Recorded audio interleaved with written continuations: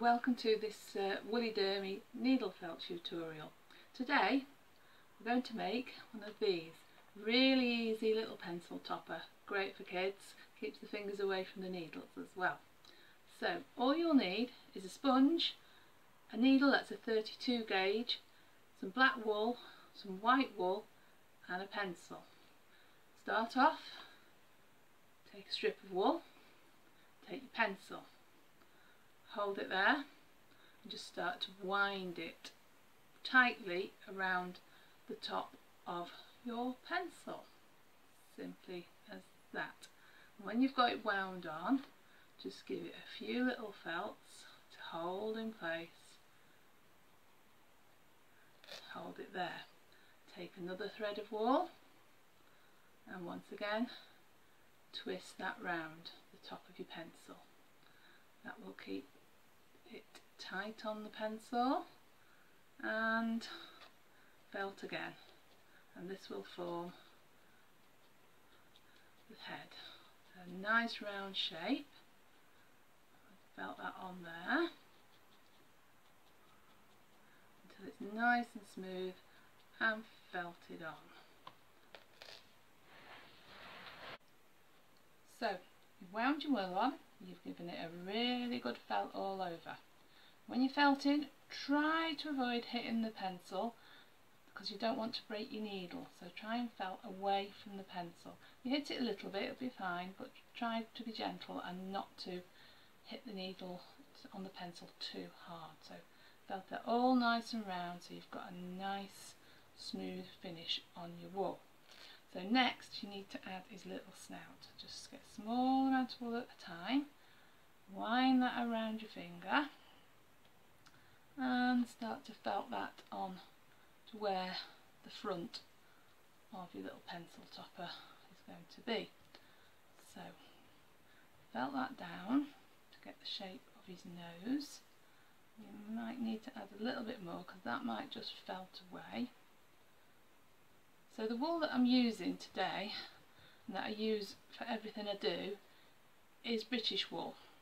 And this in particular is a rare breed British wool called Whiteface Woodland. So you just need to add a little bit more wool now to make that nose a little bit bigger. So just keep adding.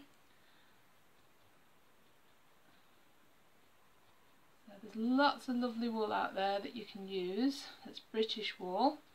There's no need to use anything else other than that. There's all the colours that you need and they're just brilliant for felting. So I'm starting to make the shape of the front of his nose. You just have to keep working, keep felting that down until you're happy with the shape that you've got.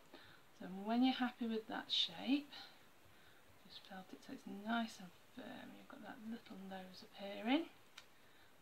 When you're happy with that shape, just put that to one side and you're going to make some ears for him. So just pull off a small amount of wool, divide that into two and then fold that over so you've got one ear. Work on your pad but you have to keep turning it so it doesn't stick to your pad. Keep turning it over and over and then just start to work to get that ear shape. That nice oval. You can be, have these any size you want make them bigger make them smaller. Play about the size. You could make these in any colour you wanted as well. It doesn't have to be white. You could make a brown hare a pink hare whatever colour you want to make him. He's yours so that's one ear very quickly. You probably spend a little bit more time than this making these. And so add a second ear. So felt those to get that ear shape. Turn them over and felt felt those down until you've got a nice flat ear. Try not to get it stuck to your pad too much. I know that's a bit tricky on a flat piece. And then when you're happy with the shape of the ears, so you've got your head and you've got your ears. Take both your ears, just tack, hold them on and just quickly tack them on to the back of the head. So just turn that over and just check that you're happy with the position. That one's a little bit low. So just pull that up and belt them on nice and firmly. You always give them another felt after. And eyes. So I've just got a little bit of black wool that I've cut up and firstly just put one eye on there, bit more for the other eye.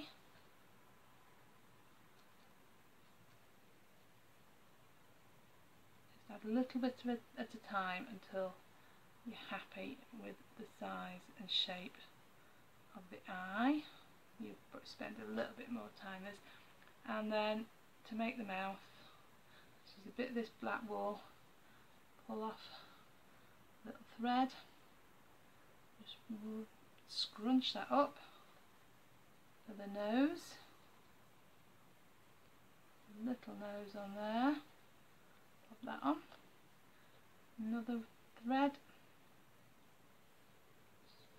Put that for the little bit that goes down. And felt that away.